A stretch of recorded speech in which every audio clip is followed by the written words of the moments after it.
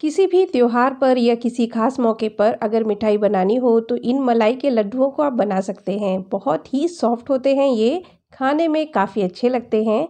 इनको बनाने में ज़्यादा समय भी नहीं लगता है, आसानी से बन जाते हैं। तो चलिए इनको बनाना शुरू करते हैं। मलाई के लड्डू बनाने के लिए ये मैंने डेढ़ लीटर दूध लिया है। फुल फैट वाला दूध है ये। भगोने में पहले एक लीटर दूध डालेंगे। ये जो आधा लीटर दूध है, इसे बाद में यूज़ करेंगे। गैस की फ्लेम को तेज करके दूध में पहले उबाल आने देंगे। दूध ऊपर तक आ गया है, यानी इसमें उबाल आ चुका है। गैस की फ्लेम को मैंने बंद कर दिया है, पहले इसको चमचे से चला लेंगे। भैंस का या फिर गाय का कोई भी दूध ले सकते हैं, जो आपके यहाँ दूध आता हो, उसी से इन लड्डुओं को बना सकते हैं। अब दूध को फाड़ना है, इसलिए मैंने एक कप में तीन टेबल स्पून विनेगर को लिया है। अब इसमें हम थोड़ा सा पानी डाल देंगे। एक चौथाई कप से थोड़ा सा कम इस विनेगर में मैंने पानी डाला है। अब दूध में थोड़ा थोड़ा इस विनेगर को डालते जाएँगे और इस दूध को चलाते जाएँगे। विनेगर की वजह से दूध जल्दी फट जाएगा। अब आप देख सकते हैं, ये हल्का सा फटना शुरू हो गया है। गैस की फ्लेम को मैंने बंद ही रखा है। विनेगर की जगह आप नींबू का रस भी ले सकते हैं। एक नींबू का रस आप निचोड़ लें और उसमें थोड़ा सा पानी डालकर मिक्स कर लें। और फिर इसी तरह से दूध में डालकर इस दूध को फाड़ लेंगे। ये देखिए, छेना अलग हो चुका है और पानी अलग है। जब भी कभी घर पर पनीर बनाना हो, इस तरह से दूध को फाड़ कर पनीर को तैयार कर लें। अब इसको छान लेते हैं। एक भगोने पर छन्नी को रखकर उस पर साफ़ कपड़ा रखा है। इसी में हम इस छेने को डाल देते हैं। सारा छेना मैंने इसी में डाल दिया है। अब चारों तरफ़ से कपड़े को पकड़ लेंगे। पानी से ये भगोना भर गया है, इसलिए हम क्या कर रहे हैं, कपड़े को उठा लेंगे छन्नी सहित और इसको अलग कर लेंगे। अब ये छेने वाला जो पानी है, उसको फेंकना नहीं है। सब्ज़ी बनाते वक्त इसे सब्ज़ी में डाल लें। इसको अलग रख लेते हैं। अब छन्नी को दूसरे बर्तन पर रखा है। बहुत ही बढ़िया सा छेना मिला है।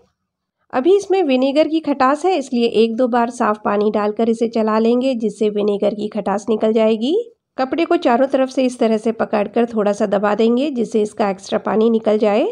पनीर का पूरा पानी निकालकर सुखाना नहीं है। हल्का सा इसमें नमी बनी रहनी चाहिए। अब ये लीजिए, बहुत ही बढ़िया नरम पनीर बनकर तैयार है। अब इसको हथेली से मसल कर और भी सॉफ्ट कर लेना है। वैसे तो आप पनीर को खरीद कर भी डाल सकते हैं, लेकिन जब लड्डुओं को घर पर बना रहे हैं तो पूरी तरह से क्यों ना घर पर ही बना लिया जाए। इसीलिए मैंने पनीर को घर पर ही बनाकर तैयार किया है। ये देखिए, इस तरह से मसल मसल कर पनीर को सॉफ्ट कर लेना है। ये लीजिए, पनीर को मैंने अच्छे से सॉफ्ट कर लिया है। तीन मिनट मैंने इसे मसल लिया। अब कढ़ाई में आधा लीटर बचा हुआ दूध डालेंगे। अब इसको मीडियम फ्लेम पर चलाकर दूध को गाढ़ा करेंगे। दूध थोड़ा है, इसलिए बहुत जल्दी गाढ़ा हो जाएगा। तेज आँच पर गाढ़ा करने की इसे ज़रूरत नहीं है। दूध को चलाना है और किनारी पर जो मलाई चिपके, उसे खुरच कर इसी दूध में डालते जाना है वापस। 10 से 15 मिनट में ही ये दूध गाढ़ा हो जाएगा। आप देख सकते हैं हल्का सा ये दूध गाढ़ा होना शुरू हो गया है। कुछ देर इसे और चला लेंगे, जिससे ये हल्का सा और गाढ़ा हो जाए। गैस की फ्लेम को मैंने थोड़ा सा कम कर दिया है। अब ये देखिए, दूध हल्का सा गाढ़ा हो चुका है। बस इतना ही गाढ़ा हमें रखना है। अब इसमें हम पनीर को डाल देते हैं। पनीर को हाथों से तोड़ते हुए डालेंगे। वैसे तो ये लड्डू ऐसे ही अच्छे लगते हैं। अगर आप चाहें तो इसमें कटे हुए ड्राई फ्रूट्स को डाल सकते हैं। इसको अच्छे से मिला लेते हैं। गैस की फ्लेम को धीमा रखा है। धीमी आँच पर ही इसको हम चला रहे हैं। ये लीजिए, मैंने इसको अच्छे से मिला लिया है। मलाई वाले लड्डू हैं, इसलिए हम इसमें तीन से चार टेबल स्पून ताज़ी मलाई को डाल रहे हैं। दो तीन दिन पुरानी मलाई को यूज़ नहीं करना है, वैसे आप बिना मलाई के भी इस लड्डू को तैयार कर सकते हैं। अब इसमें हम डाल रहे हैं स्वाद के अनुसार चीनी को। ये मैंने पाँच टेबल स्पून चीनी डाली है, चलाकर मिला लेंगे इसको। अब मैंने गैस की फ्लेम को मीडियम से थोड़ा कम रखा है। इसे तब तक चलाना है जब तक कि ये इकट्ठा ना होने लगे। चीनी और मलाई की वजह से शुरुआत में ये थोड़ा सा पतला हो जाता है, लेकिन जैसे जैसे इसे चलाते जाएँगे, ये गाढ़ा होकर इकट्ठा होने लगेगा।